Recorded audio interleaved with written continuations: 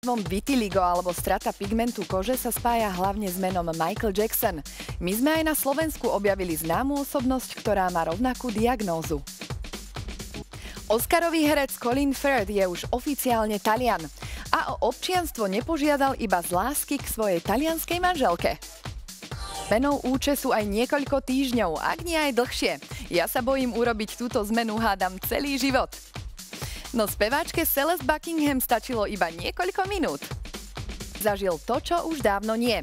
Koncert rodákov. Všetko sa to odohralo pod holým, upršaným nebom. A tí, čo si pamätajú niečo z histórie, museli mať déjà vu, keď na pódium vyšiel Michal Hudák. Rovnaký koncert totiž moderoval aj pred 20 rokmi skupine Desmod, kým dokončila svoj nový album. Vraj je iný, modernejší a cítiť na ňom ten dlhý čas, ktorý mu kapela venovala.